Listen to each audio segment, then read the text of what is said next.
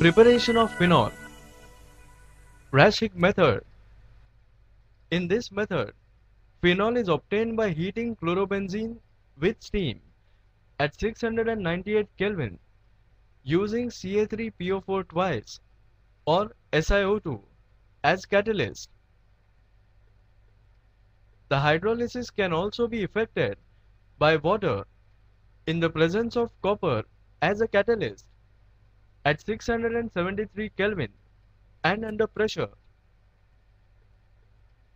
The reaction is chlorobenzene plus H2O in presence of Ca3PO4 twice at 698 Kelvin gives phenol plus HCl